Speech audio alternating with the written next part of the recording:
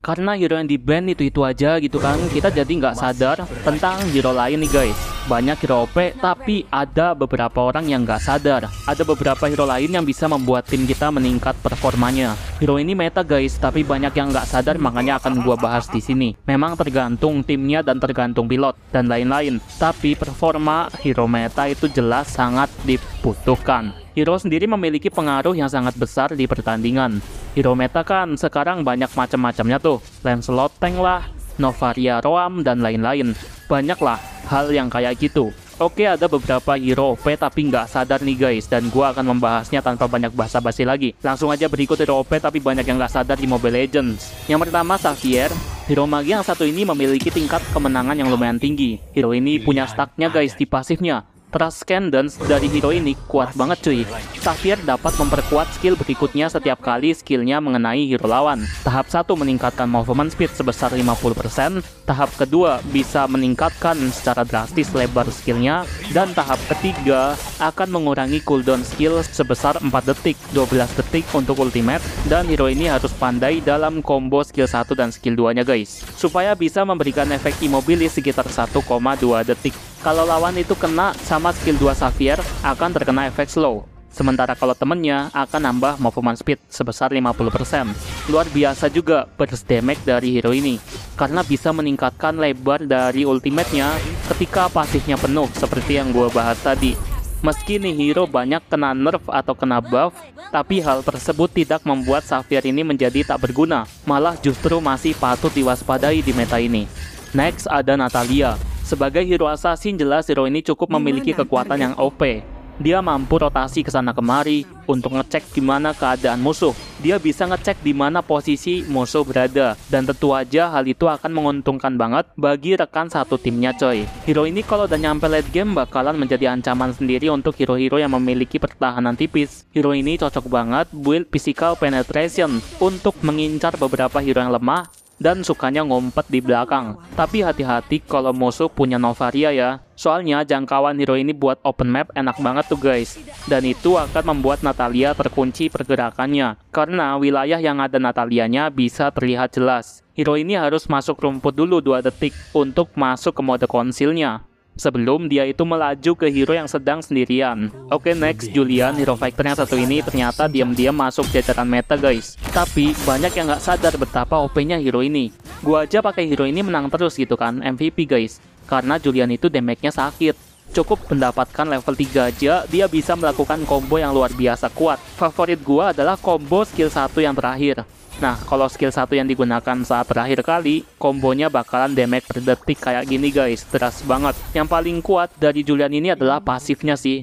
Setelah menggunakan skill yang berbeda, Julian akan memperkuat skill ketiganya. Menggunakan skill yang diperkuat akan membuat seluruh skillnya memasuki cooldown selama 10 sampai 6,5 detik, berkurang seiring dengan level. Tetapi basic attack-nya dalam 5 detik berikutnya akan memberikan magic damage yang kuat dan menarik target menuju dirinya. Julian juga memperoleh 15% magic lifesteal tambahan selama 5 detik setiap kali dia mengenai lawan dengan skillnya itu. Next, ada lagi hero OP tapi banyak yang nggak sadar, Aldos. Karena kebanyakan yang pakai hero ini lawak gitu kan, jadi hero ini kurang diminati guys. Padahal tingkat keopeannya masih mengganggu. Gua aja sering ketemu Aldos tapi mainnya nggak bener. Cuma peduli kill doang dan nggak mikir bagaimana dia itu mendapatkan stack yang banyak. Tunggu late game, tunggu late game, eh malah kalah duluan. Banyak tuh yang begitu. Sebenarnya nih hero OP, tapi nggak pada nyadar aja guys. Hero ini OP dari segi damage-nya, apalagi ketika stacknya udah penuh. Cuma ya itu harus sabar banget guys nunggu stacknya. Untuk pertahanan juga hero ini oke, okay, karena dia punya damage reduction di skill 2-nya dan Aldos punya shield setiap dia memberikan dua kali basic attack. Shieldnya bahkan tergantung sama jumlah stack hero ini. Semakin banyak dia ngumpulin stack soul steel, akan semakin kuat Aldos nanti. Sekali skill satu gitu kan, lawan akan ditinju kebingungan. Ya, karena saking sakitnya gitu kan. Oke, yang kelima untuk hero OP, tapi banyak yang nggak sadar ada Leslie. Hero ini asli OP banget sih. Sulit untuk didekati sementara memiliki damage yang tinggi.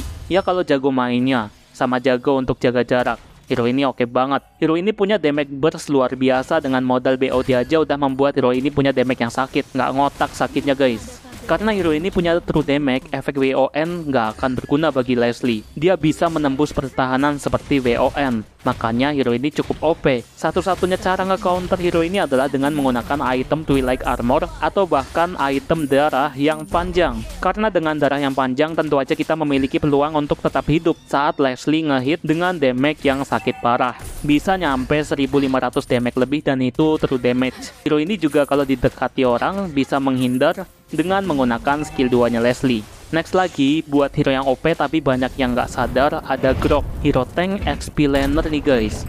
Cocok ditaruh di XP lane untuk menghadapi beberapa hero yang keras. Untuk damage, tentu aja Grok punya damage yang tinggi. Apalagi kalau Grok ini nahan skill satunya itu. Hero ini memiliki pasif yang cukup unik. Saat Grok ini memiliki physical attack yang tinggi, jumlah physical attack tersebut akan dikonversi juga ke physical defense sebanyak setengahnya jadi nggak heran kalau kita build sakit ke hero ini, Grok tetap memiliki pertahanan physical defense yang kuat. Ketika berada di dekat dinding atau turret, Grok memperoleh 10% movement speed, physical defense, dan HP regen tambahan. Setiap physical attack tambahan yang diperoleh Grok akan meningkatkan physical defense-nya sebanyak 0,5 kali.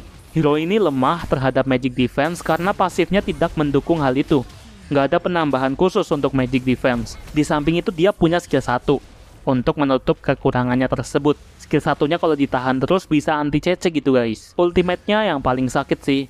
Bisa stun lawan ketika dekat penghalang dan damage-nya cukup tinggi guys. Next lagi buat hero OP tapi banyak yang nggak sadar selanjutnya ada Hanzo. Kalau lawan itu nggak ada Natalia atau hero yang bisa masuk ke pertahanan kita dengan cepat, wah hero ini bisa banget dan tidak terhentikan. Hero ini anti sama yang namanya hero high ground, karena Hanzo memiliki skill ulti yang dapat membuat dia keluar dari tubuhnya. Skill 2 dari Hanzo bahkan bisa memberikan damage per detik yang lumayan sakit ke hero tipis khususnya. Bisa dengan instan gitu mencapai jarak tertentu dan bisa instan ngehit lawan yang kabur. Hanzo ini butuh attack speed yang tinggi karena itu akan mempengaruhi tingkat kekuatan hero ini. Bahkan Hanzo bisa juga untuk menembus pertahanan milik tank. Hero ini kalau dipegang sama yang bisa main, wah bisa ganggu banget. Banyak hero assassin yang mengandalkan kecepatan tangan atau mekanik tinggi, sementara hero ini tuh hanya mengandalkan makronya. Kita harus menyimpan tubuh asli Hanzo agar tidak kena bantai lawan dan membuat Hanzo ini bisa ngehit lawan bebas tanpa tersentuh. Hero ini kalau dipakai sama penakut cocok sih, soalnya kalau Hanzo ulti dan rohnya keluar, itu akan sangat mengancam bagi lawan. Tubuh aslinya kalau pinter jaganya itu bakalan tak terhentikan sih hero ini guys.